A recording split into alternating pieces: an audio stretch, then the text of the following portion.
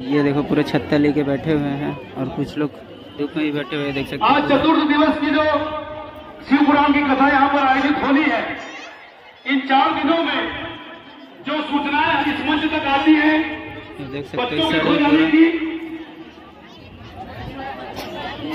ये देखो यहाँ पे निःशुल्क पोहा वितरण किया जा रहा है। तो हेलो दोस्तों, स्वागत है हमारे और एक नए वीडियो पे। आज के वीडियो में आप लोगों को लेकर आए हैं दोस्तों बालोद जहाँ पंडित श्री प्रदीप मिश्रा जी का कथा हो रहा है, शिव महापुराण कथा, जिसका आज चौथा दिन है और काफ़ी ज़्यादा भीड़ है। तो मेरे पीछे देख सकते हो पूरा पार्किंग लगा हुआ है, ये देख सकते हो पूरा गाड़ी है, पूरा लाइन से।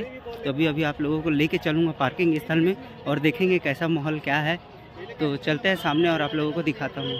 जहाँ मैं अभी खड़ा हूँ, यहाँ से लगभग चार किलोमीटर पैदल जाना पड़ेगा क्योंकि यहीं पे आप लोगों को पार्किंग लगाने के लिए दिया हुआ है। इसके आगे आप लोगों को गाड़ी नहीं मिलेगा जाने के लिए।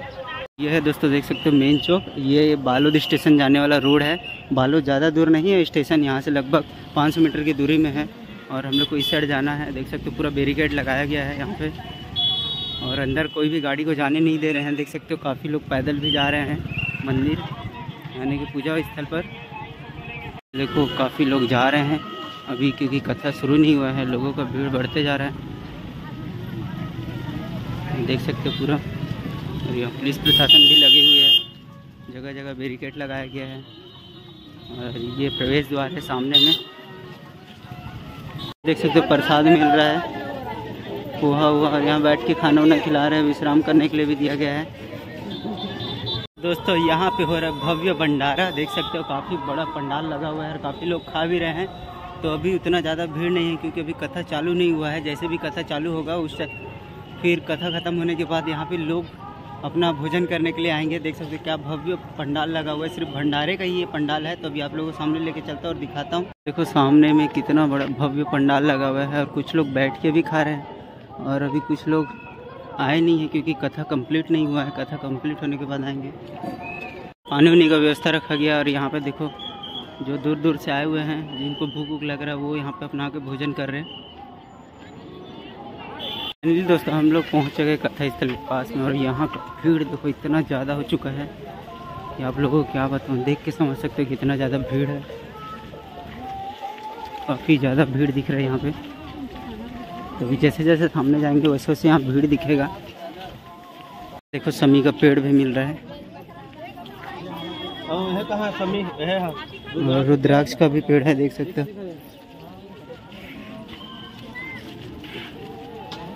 देखो पोहा का वितरण किया जा रहा है। कितना ज़्यादा भीड़ हो गया।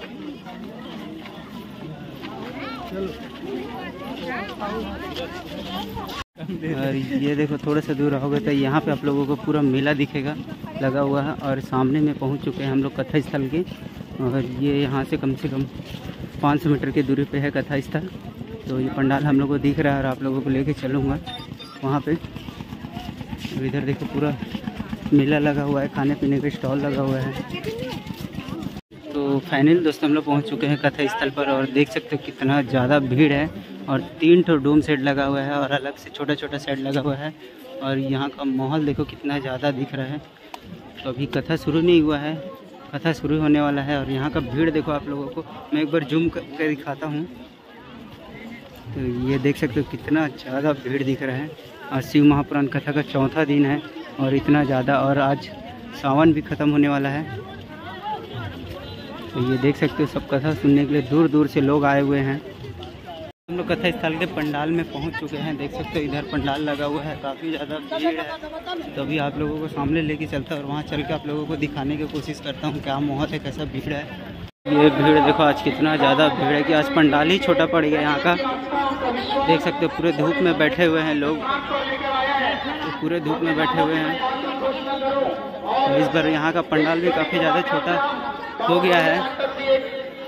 तो सब धूप में देख, बैठ के पूरा कथा सुनने के लिए बैठे हुए हैं। आपस में समन्वय बनाकर। देख सकते हो दोस्तों कितना ज़्यादा भीड़ हो चुका है पूरा तीन साइड था तीन साइड भरने के बावजूद अलग से और टेंट लगाया गया है तो वो भी छोटा पड़ गया है सब छत्ता धर धर के देख सकते हो बैठे हुए हैं कथा सुनने के लिए और अभी भी लोग आ रहे हैं अपना अपना जगह बना बना कर बैठ रहे हैं तो यहाँ से तो अभी गुरु जी नहीं दिख रहे हैं तो आप लोग अनुमान लगा सकते हो कितना ज़्यादा यहाँ पे भीड़ है। देख सकते हो। और यहाँ देखो, तिरपाल उरपाल भी लेकर आए हुए हैं बैठने के लिए, धूप में बैठ के कथा सुन रहे हैं। यहाँ देखो, पूरा डोम सेट के बाहर में बैठे हुए हैं, इस साइड भी। और ये देख सकते हो, जो बड़ा डोम सेट है, उसमें पूरा खचा खच भीड़ हुआ है। काफ़ी ज़्यादा भीड़ देखने के लिए मिल रहा है यहाँ पे। देख सकते हो। और अभी आप लोगों को लेके चलता हूँ, सामने दिखाने की कोशिश करता हूँ। और यहाँ भी देख सकते पूरा डोम सेट के बाहर में बैठ के कथा देख रहे हैं।